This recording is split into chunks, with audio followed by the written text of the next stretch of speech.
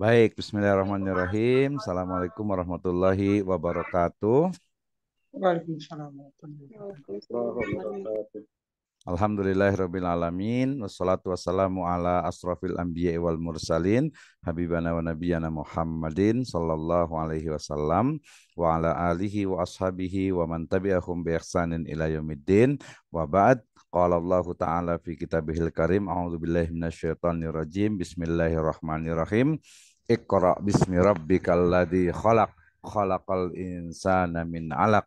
Iqra wa rabbukal akram alladzi 'allama bil qalam 'allamal insana ma lam ya'lam Amma ba'd fa inna astaqal hadis kitabullah wa khairal huda huda Nabi sallallahu alaihi wasallam. Alhamdulillah syukur kepada Allah Subhanahu wa taala yang telah memberikan kepada kita kenikmatan iman, Islam dan juga ihsan. Kemudian salawat dan salam sama-sama kita panjatkan kepada junjungan alam Habibana wa Nabiyana Muhammadin sallallahu alaihi wasallam kepada seluruh ahlul baitnya, para sahabatnya, serta orang-orang yang senantiasa mengikuti jejak sunnahnya hingga akhir zaman. Uh, ikhwas sekalian, terima kasih. Jazakumullahu khairan ala khudurikum fi hadhil lailah al mubarakah wa insyaallah taala yakni nastamir dirasatana fi tari al hadaratul islamiyah. Qad bahasna yakni fi usbu al madiyah wa aidan fi yaumil ahad fi mahad uh, markasul Quran yata'allaq bi kaifa uh, tari wal hadarah al islamiyah fi asri Nabi sallallahu alaihi wasallam yakni fil Makkah wa aidan fil Madinah. Wa fi hadhihi laila insyaallah sanabhas kaifa hadarah atau tarikh hadarah islamiyah fi asri khulafa ar-rasyidin al-mahdiyyin min Abi Bakar uh, wa Umar wa Utsman wa Ali wa aidan. Mungkin uh, ida indanal waqt insyaallah nabhas aidan kaifa yakni intiqalu al-khilafah yakni ila uh, Husain uh, wa aidan ila uh, Hasan wa Muawiyah bin Abi Sufyan wa aidan Yazid bin uh, Muawiyah. Terima kasih atas kehadirannya yang uh, masuk kita yang jauh juga nih di Buton tengah sana ya. Insya Allah uh, sekarang ini the world is flat gitu ya. Jadi sudah tidak ada jarak, yang penting ada kemauan, ada keinginan untuk uh, terus belajar. Terima kasih juga untuk Pak Mustafa yang sudah hadir and we can discuss about our subject ya uh, tonight about the the history of Islamic civilization. I think our subject is uh, very important because we can uh, maybe take the al hikmah from uh, our history, yeah, specifically in the period of the Messenger Muhammad Sallallahu Alaihi Wasallam, peace be upon him, and also uh, his uh, friend, his Sahaba, radhiyallahu anhum, uh, were also from the Umayyad uh, dynasty and then uh, Abbasid uh, until Ottoman and in uh, Nusantara or uh, Indonesia as our uh, region.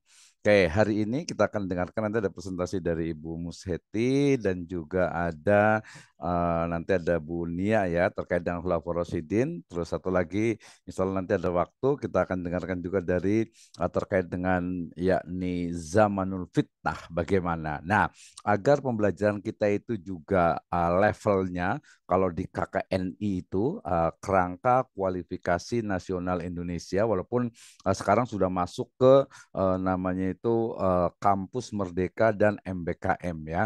Jadi uh, belajar uh, merdeka. Jadi Uh, tetapi uh, kalau saya lihat bahwa baik itu KKNI ataupun uh, kampus Merdeka itu sama-sama sebenarnya memberikan level kepada uh, mahasiswa di master itu untuk bukan hanya mendeskripsikan tetapi uh, to analyze ya dan juga uh, memiliki sebuah inovasi ya seperti um, ketika kita belajar tentang ayat hadis uh, pendidikan kita bisa bicara tentang uh, bagaimana mengembangkan dari game ya berbasis uh, hadis Nabi Shallallahu Alaihi Wasallam ya. Kemudian juga kemarin tentang pemahaman terhadap ikro ternyata bukan hanya uh, membaca bahkan kalau merujuk kepada asbabun nuzulnya justru bukan bukan ikro membaca tetapi adalah itabi karena Nabi ya Shallallahu Alaihi Wasallam itu adalah umi tidak bisa membaca tulis masa mau membaca apa gitu. Jadi bukan membaca tetapi mm, ikuti ya. Tetapi kemudian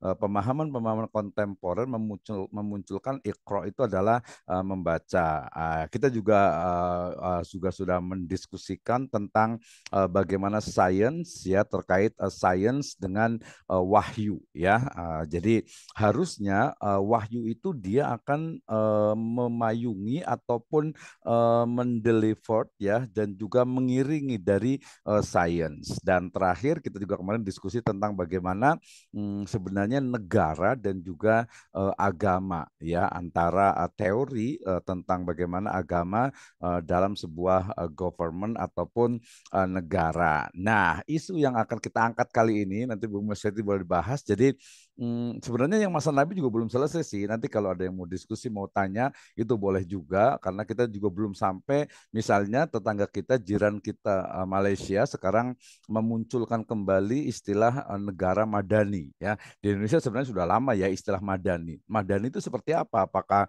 uh, madani back to Madinah seperti uh, Baghdadi atau mungkin juga uh, Misri gitu ya, Cordova ya, Andunisi gitu atau konsep konsepnya itu seperti apa itu nanti ditemukan di Sahifah Al-Madinah atau disebut dengan uh, piagam uh, Madinah ya. Kemudian juga kemarin yang kita lupakan juga uh, teori tentang uh, kafir zimmi ya.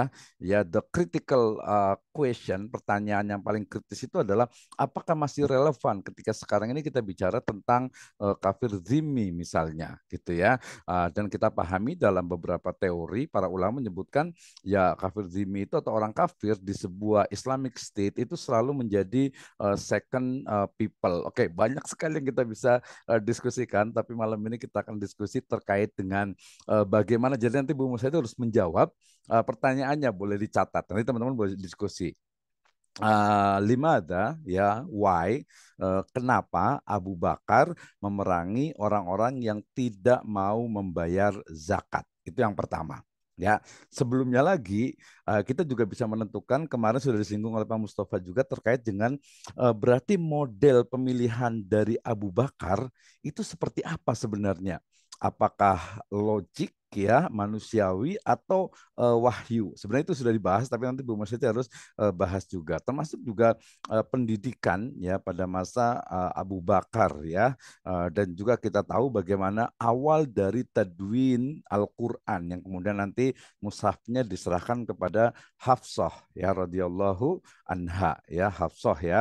Nah, kemudian itu juga menjadi uh, hal yang cukup uh, menarik. Pada masanya Umar itu terlalu bukan terlalu ya, sangat banyak sekali ijtihad beliau misalnya terkait dengan hmm, apa uh, pembagian ghanimah gitu ya. Kemudian juga penggajian bagi uh, para tentara.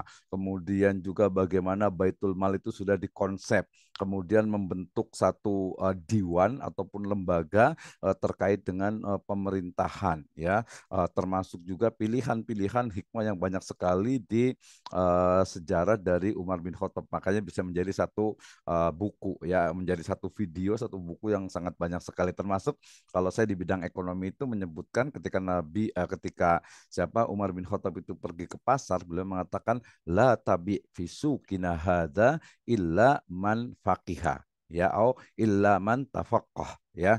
Ya tidak boleh masuk ke pasar kami kecuali yang paham tentang fikih. Khasnya adalah uh, fikih uh, muamalah. Ya ini sangat banyak sekali. Nanti Bu Nia apalagi uh, banyak sekali tentang uh, Utsman bin Affan ya isu-isu tentang uh, nepotisme kemudian munculnya ya awal dari sebuah uh, khawarij gitu ya. Kemudian juga tadwin dari uh, Al-Qur'an itu sendiri atau yang disebut kita dengan uh, mushaf Utsmani gitu ya. Kemudian juga uh, bagaimana sebenarnya jasa dari uh, Utsman bin Affan sampai um, masa fitnah di mana beliau itu dibunuh di uh, rumahnya. Ini menjadi hal yang uh, perlu diklirkan juga kepada masyarakat. Masanya um, Ali bin Abi Thalib ya kita kemarin sudah sampaikan baik mulai Umar bin Khattab, kemudian Utsman bin Affan dan Ali bin Abi Thalib radhiyallahu anhum ketiga-tiganya itu meninggal dalam keadaan uh, dibunuh. Termasuk kemarin juga Umar bin Abdul Aziz ini sebuah politik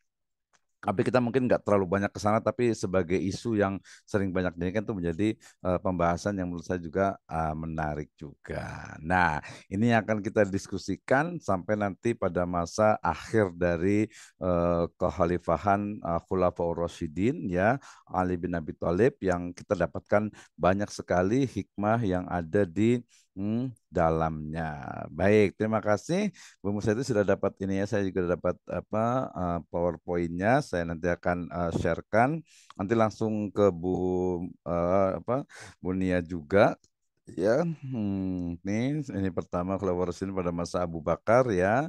Kemudian sebentar saya download satu lagi ini pada masanya yang kedua Bunia dari uh, Abu Umar bin Khattab dan um, Ali bin Abi Thalib. Baik, menghemat waktu saya akan mulai dari yang pertama dulu. Bu Mas itu, Bu Musa itu sudah siap?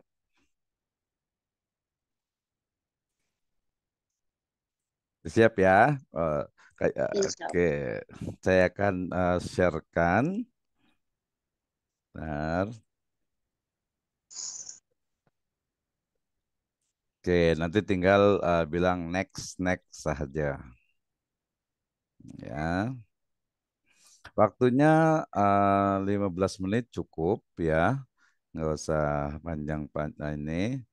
Hmm, Oke. Oke, jadi tadi yang level ke-8 dari KKNI itu adalah mahasiswa bukan hanya mendeskripsikan tetapi menganalisis dari sejarah yang ada, kemudian uh, bagaimana mengambil hikmah dari sejarah itu untuk diimplementasikan di masa sekarang ini.